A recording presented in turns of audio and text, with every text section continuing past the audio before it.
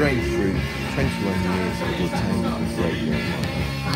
quite an interesting compilation, uh, keeping uh, lots of different